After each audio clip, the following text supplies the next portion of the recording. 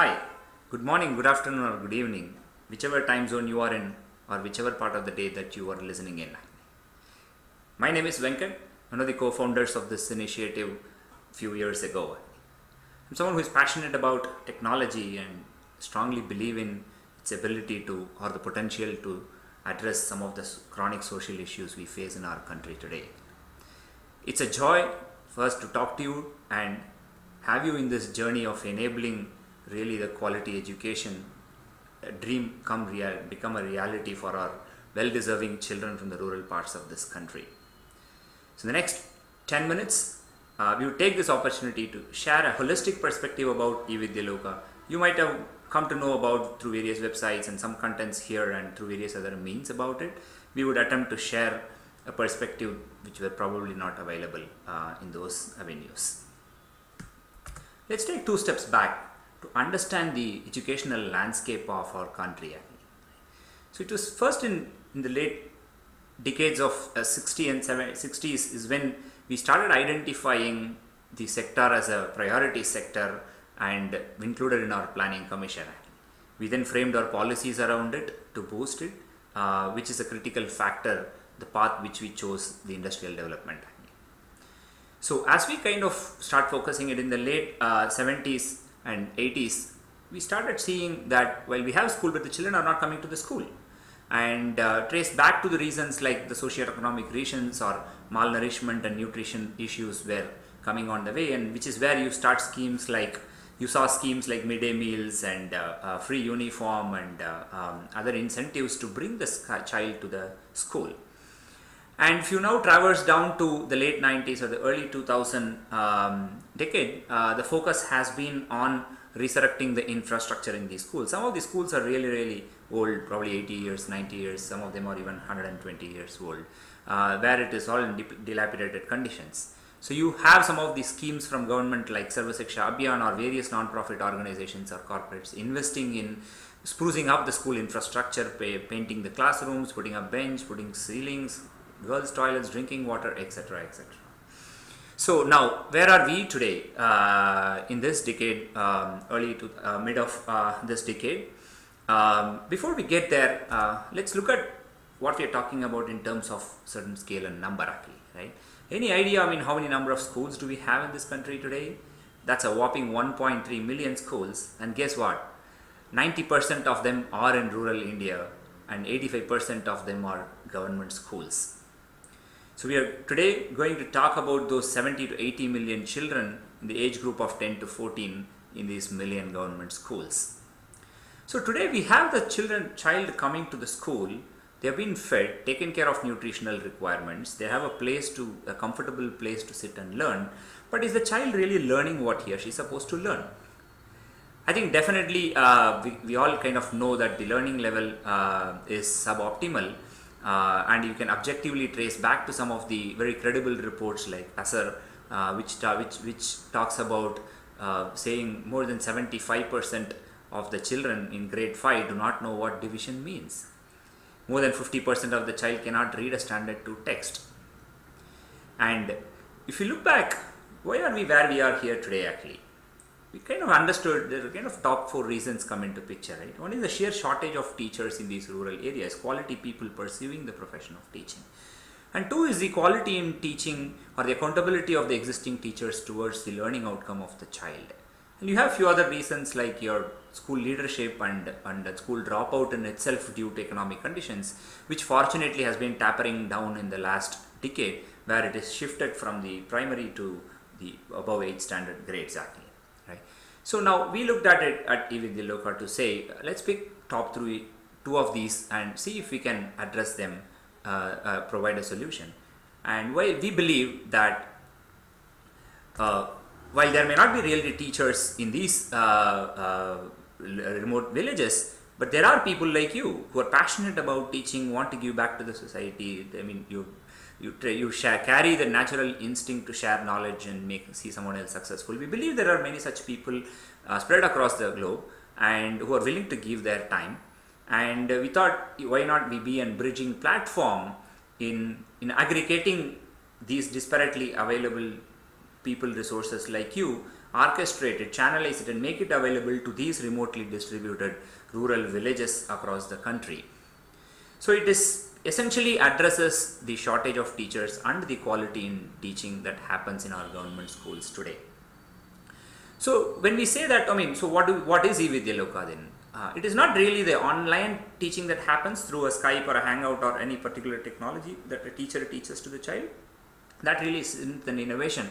That is a, matter of fact. The real innovation that we believe is, is in the, the delivery model uh, that we are trying to explore and put in place. Uh, understanding what does it take to make such facility available to our rural as parts of our country. Uh, we try to present that in a few, few, few key tenets, uh, like as, we, as you see here, uh, the primary one being that we operate only in the rural areas uh, where the government school is the only avenue of learning and we want to ensure that there is access to quality education is provided to these children. Uh, the second key tenet is about partnership where you, we might be sitting in, uh, in, a, in a place like Bangalore while why would a person in a village listen into what we say? the way in our, I mean, the ethos of our country is, is built on the trust and relationship. And a local partner or a community is a lot more interested in seeing their community successful than you and me. Uh, hence, we strongly believe that uh, we always work through a local entity or a partner who has a vested interest and stay put in that location, who has access, instant access to the beneficiaries, in this case, the children and the government schools, etc. And we bring the educational service out of box to them, creating a very win win synergy uh, in making this whole model work. Uh, the third key important thing is the, the language, the delivery is happens in the, uh, the teaching happens in the local language uh, where uh, of course that of the state board curriculum. Hence anyone who teaches in this model, the basic prerequisite, your ability to read and write your local language as a mother tongue, where the child feels extremely comfortable uh, listening to someone speaking the language and the same as what is being taught at the school otherwise.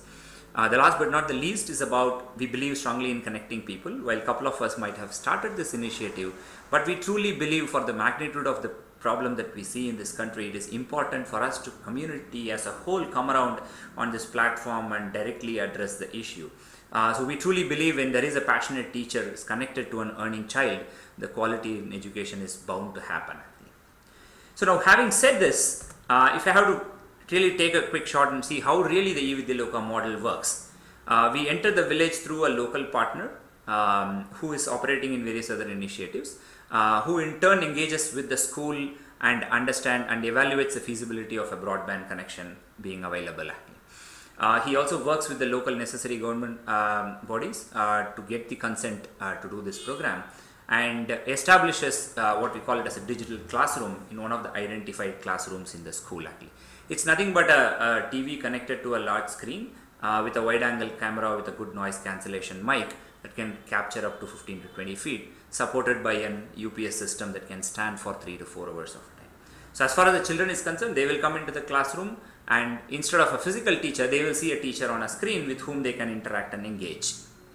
Uh, now that we have this tab being set for ready for consumption by the children and in the school, we then reach out to people like you and say, hey, uh, can you spend two hours of your time uh, in week, two hours per week uh, in, in two different days as one hour slots?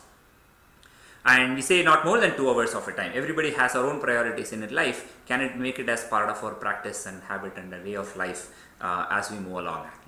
We then aggregate seven or eight such people uh, and then make a holistic offering to a particular village teaching math, science, and English for 5th, 6th, 7th, and 8th grade children.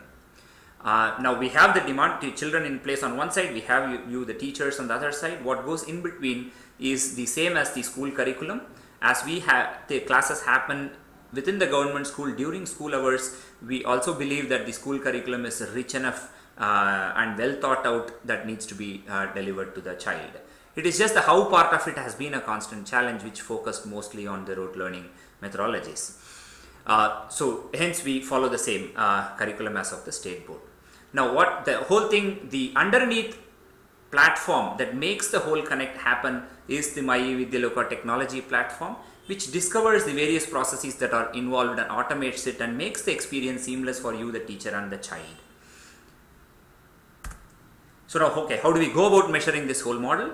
Uh, while we measure various aspects of it, the key is we measure both the lead and lag parameters, where how many classes are planned and how many delivered, and how many teachers are being fulfilled for the need in the school, and followed by what is attendance of the children in the classroom. Even though it's happening in the school, it is not mandatory for the child to be in this classroom. Hence, he or she is going to attend only if the class is interesting.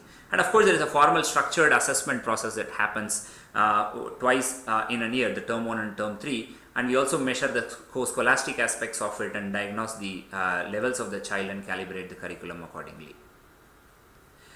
So now where we are actually. So the journey that started in 2011 as one school in a pilot, uh, we had did a pilot for two years between 11 and 13 and uh, with, with five schools and from there onwards we had established a scaling up plan to go from five villages to 50 villages as we uh, as as end of this march 2016 we'll be completing 50 villages close to 3000 children learning uh, over a lakh and 75000 child learning hours being delivered by 338 teachers across various parts of this world actually so we now from where from here to where uh, we intend to uh, really add a few more villages uh, uh, in this year, double up the capacity from 50 to 100 villages and add few more states like West Bengal, Maharashtra, Orissa and Hindi apart from the current states of Jharkhand, Andhra Pradesh, Karnataka and Tamil Nadu. So we are looking forward to have more people on board and uh, uh, and that, that's it's kind of probably I'll take a pause here for you to kind of reflect and uh, uh, take the journey forward from here. We really would like to share this as part of our initial uh, in engagement or interaction with you. So what really are the next steps uh, for you? Uh, uh, feel free to go back, go to the FAQ section to get any of many of your queries clarified and of course complete the onboarding process where you would have a small self-evaluation and a discussion with one of our panel members for 20 minutes. Um, of course, you can connect and engage and collaborate with your fellow community members uh, through the forums that is there in place. We have the blogs and soon we're also coming out with a social platform in which you can engage and interact with the fellow passionate individuals who are participating in this journey. With this, I'll take my break here and look forward to see you soon teaching our children very very shortly. Thank you very much.